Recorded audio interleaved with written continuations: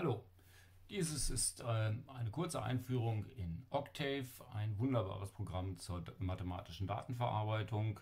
Es ist weitgehend kompatibel mit dem sehr bekannten MATLAB, was für Matrix Laboratory steht. Und das ist auch das Programm von Octave. Da geht es im Wesentlichen darum, Zahlen miteinander zu verknüpfen und mit Zahlen, das Basiselement ist eigentlich die Matrix, zu arbeiten. Nun, ich habe es hier schon mal gestartet. Ähm, man findet hier äh, zwei Bereiche. Auf dieser Seite hier äh, eigentlich für uns nur interessant ist äh, das Inhaltsverzeichnis der Datei, des, des Folders, in dem wir gerade arbeiten. Den sieht man hier oben. Und dann haben wir hier das Befehlsfenster und hier unten noch den Editor, auf dem man auch umschalten kann, mit dem man dann ähm, eigene Funktionen schreiben kann.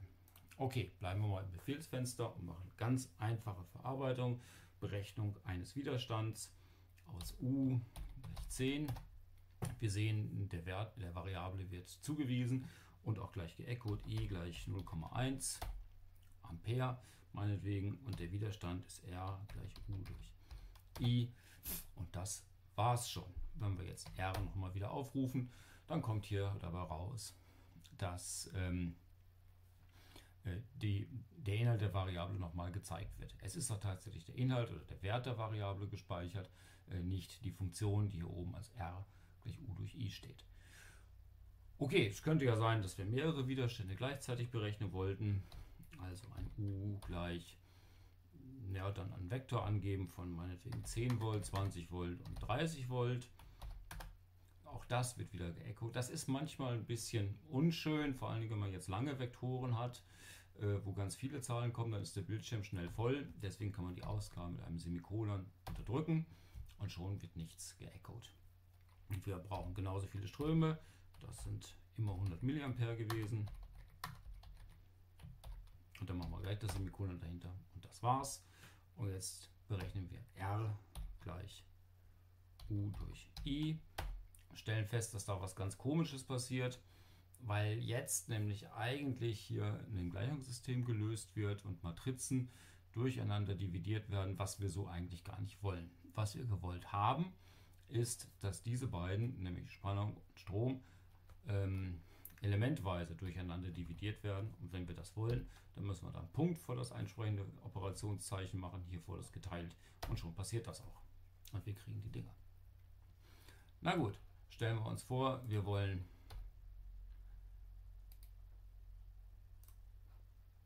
das kommt mal weg.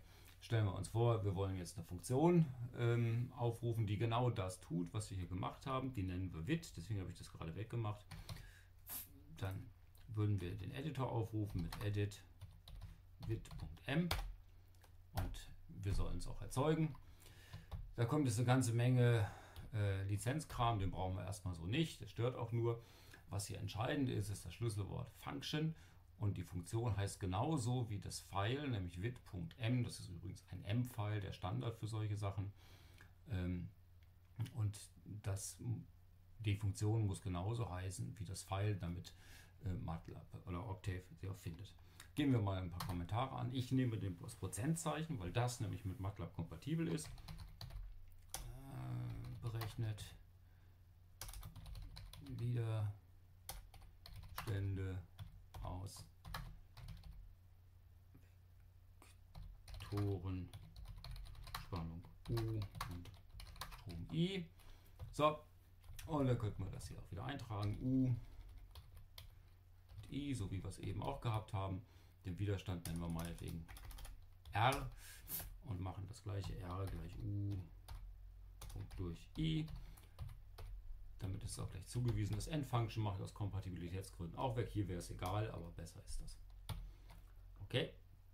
Und wenn ich jetzt hier aufrufe, diese Funktion wit u, i, dann kriege ich das als Ergebnis raus. Ich könnte es sogar zuweisen, r gleich wit ui. Ups. So, und da ist das. Mal angenommen, wir wollen eine Stromspannungskennlinie plotten, könnte ja sein, für einen Widerstand von R gleich 100 Ohm. Ähm, und wir haben die Spannungen, die wir angeben wollen, sollen von minus 10 in 0,5er Schritten bis 10 Volt gehen. Ich mache es mal so, da sieht man, dass das die 0,5er Schritte sind. Naja, und jetzt könnten wir einfach nur sagen, Plot U und U durch R.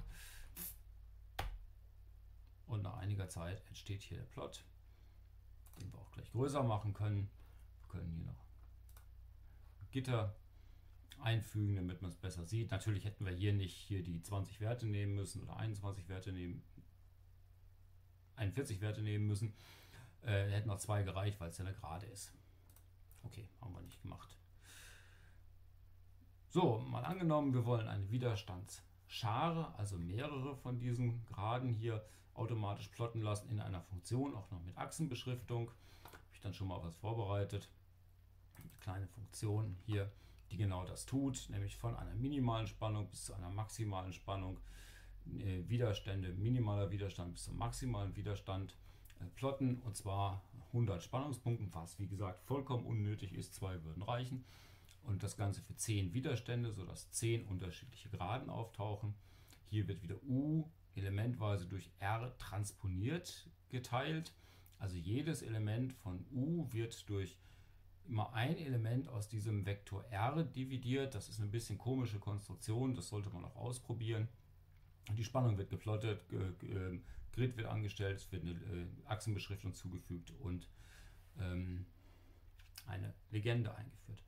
Wenn ich das aufrufe, hier RKL von minus 10 bis 10, von meinetwegen 200 bis 500 Ohm, damit die Dinger nicht aus zu weit auseinander gehen, dann bekomme ich hier genau die Schar hin und ich habe hier als steilste Kennlinie die 200 Ohm Kennlinie, die 233er bis zur flachsten, das sind die 500 Ohm. Hier unten die Spannung, hier der Strom. Okay, das soll als schnelle Einführung reichen. Ähm, ab jetzt bitte selber weitermachen und Spaß dabei haben.